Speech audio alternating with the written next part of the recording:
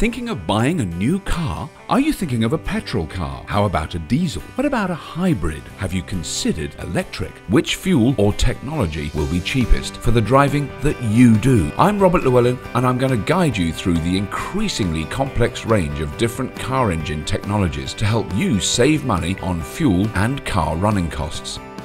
A plug-in hybrid combines a petrol or diesel engine with an electric motor powered by a battery, with the additional ability to plug the car into the mains to gain a longer electric-only driving range.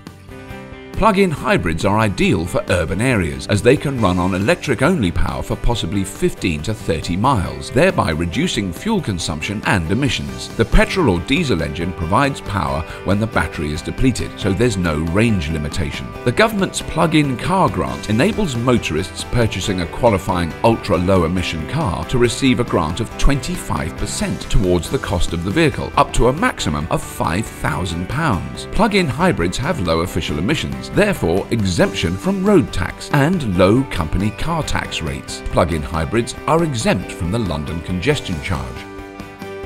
Driving the plug-in hybrid in electric mode will save considerably on fuel costs. Plug-in hybrid technology generally means extra purchase cost but lower fuel costs than a petrol or diesel. You need to be able to plug the car into the mains to recharge it. There is a government grant available if you need to install a domestic charging point. Plug-in hybrids have very high official fuel economy figures, typically over 100 miles per gallon, but it's very difficult to achieve such figures in real-life driving unless the car operates on electric power for a high proportion of the time, which can only happen with short driving cycles when a pure EV is likely to be most suitable. Plug-in hybrids are ideal for driving in urban areas where they can make the most of their electric zero tailpipe emission capability, but they can also drive anywhere thanks to their petrol or diesel engines. Plug-in vehicles can also work very well in rural areas if a car is typically driven for around 20 miles between charges. The low fuel costs and the lower number of rural fuel stations can make them a good, financially sound choice.